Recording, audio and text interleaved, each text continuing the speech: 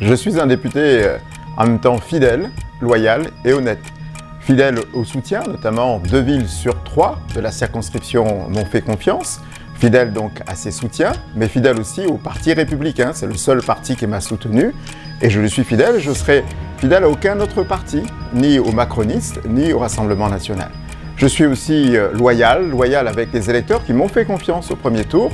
Et j'appelle naturellement les électeurs des abstentionnistes, les électeurs qui ont fait confiance aux autres candidats, de me rejoindre au deuxième tour, ils ne seront pas déçus. Et je suis honnête parce que je leur dis, pour ce second mandat, je vais expérimenter la participation citoyenne. Je vais créer un conseil parlementaire dans lequel tous les citoyens auront un mot à dire et auront la possibilité de contrôler et de voir mes votes. Je demande notamment aux électeurs de Saint-Joseph d'aller voter dimanche, de le faire en conscience, de le faire sereinement dans l'isoloir, de le faire avec cœur et de choisir le candidat de leur cœur.